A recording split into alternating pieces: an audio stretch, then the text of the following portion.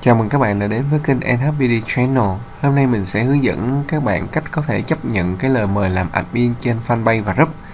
Thì uh, như các bạn đã biết thì khi các bạn tham gia group và fanpage thì các bạn thường sẽ nhận được những cái lời mời làm admin trên các trang của group và fanpage mà nơi đó các bạn tham gia một cách tích cực và hỗ trợ cho cộng đồng phát triển thì hôm nay mình sẽ hướng dẫn các bạn cách chi tiết để có thể chấp nhận những cái lời mời admin này.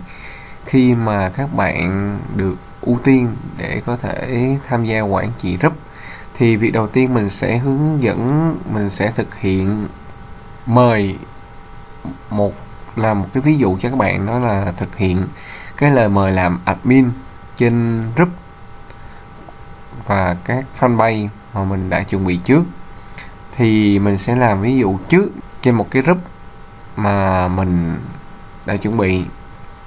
Thì uh, mình sẽ làm ví dụ trước cho bạn. Thì đối với cái group thì chỉ cần bạn là thành viên của các group này thì các quản trị viên họ có thể là sẽ mời được bạn để tham gia group này. Thì mình sẽ làm một cái yêu cầu lời mời làm quản trị admin trên cái trang group này. Tiếp theo mình sẽ đi vào để mời trên các giao diện của fanpage.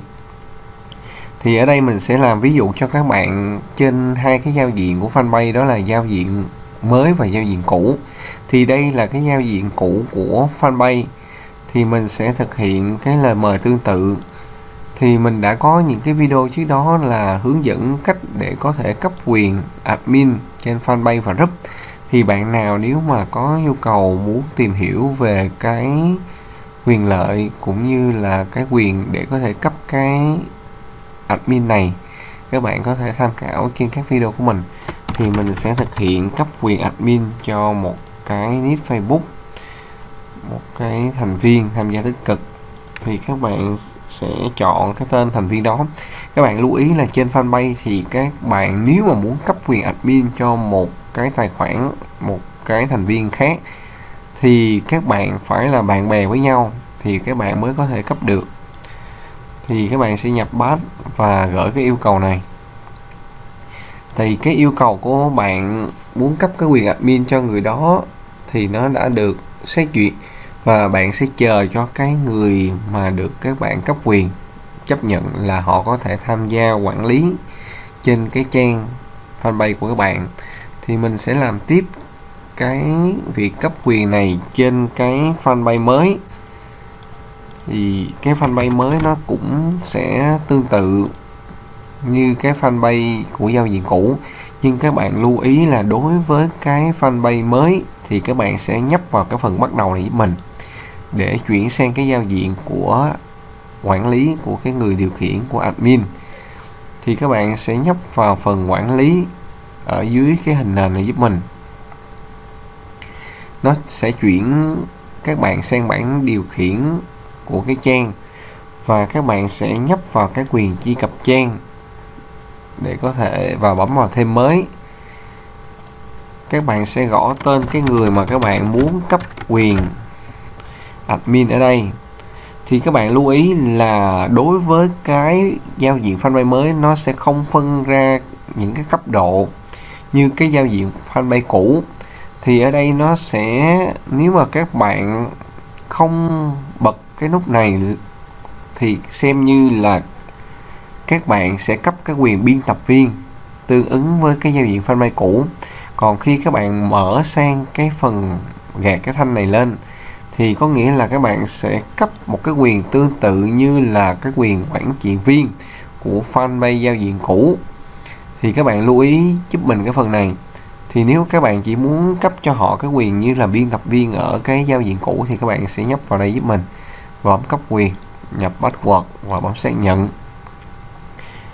Và các bạn, cái lời mời của các bạn sẽ tương tự như cái giao diện cũ là họ sẽ được gửi cái lời mời. Và chờ cho họ chấp nhận là họ có thể tham gia quản lý cùng bạn. Thì bây giờ mình sẽ chờ đăng nhập vào cái Facebook mà mình đã gửi cái lời mời. Chào, làm admin. Thì mình sẽ truy cập vào cái Facebook này. Thì ở đây các bạn sẽ bấm vào phần thông báo giúp mình. Thì ở đây các bạn đã thấy là đối với cái group thì nó sẽ hiển thị ở trên đây. Các bạn lưu ý là sẽ xem cái phần thông báo giúp mình. Các bạn sẽ nhấp vào và bấm chấp nhận cái lời mời tham gia group.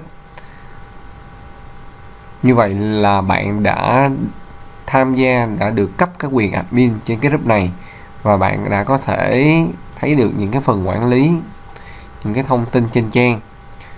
Thì các bạn sẽ vào tiếp cái phần thông báo để chấp nhận những cái quyền admin còn lại.